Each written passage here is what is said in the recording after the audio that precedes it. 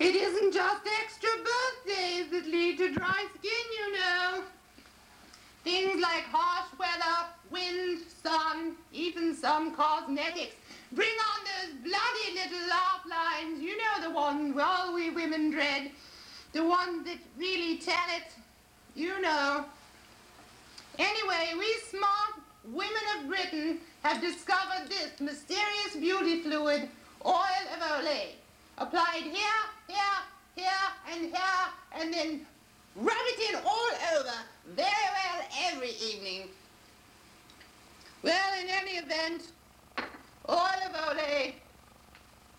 the fucking good lube.